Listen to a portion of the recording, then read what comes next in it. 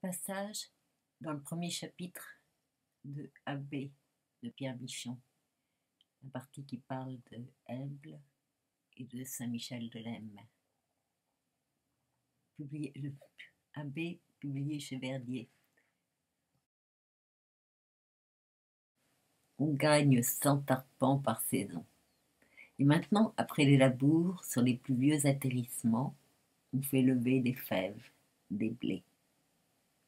Là où Hugues est mort, ça reste un et Eble croit voir qu'à l'endroit où fut répandu le sang, l'herbe est plus drue. Les gros crépuscules sont rouges, ou sagement tombent mouillés dans la bruine. On a enfin de grosses cloches profondes, venues de Limoges sur l'eau, avec gravé tout autour Benoît, évêque, à Eble, abbé.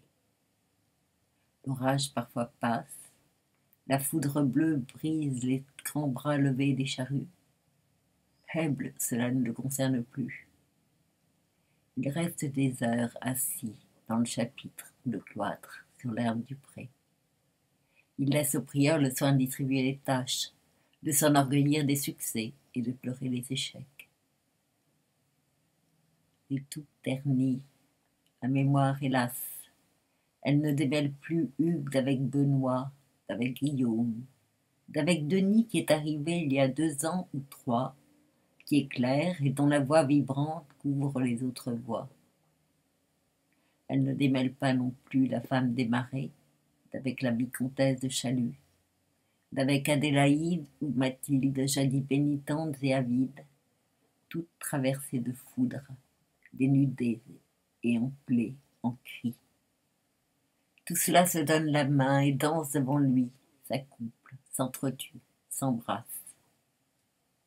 Toutes choses sont muables et proches de l'incertain. Parfois, il a un petit rire solitaire, plutôt gai.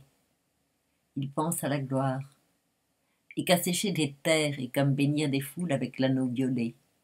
C'est de la gloire sans doute. Ce sont des lampes très précaires que le boisseau recouvre vite elle s'allume ailleurs. Le crépuscule rouge ne bouge pas, on sait où il s'allume sans varier, et au principe de cette gloire invariable, il n'y a aucun homme, mort ni vif. Eble s'entend bien avec la mort qui va venir.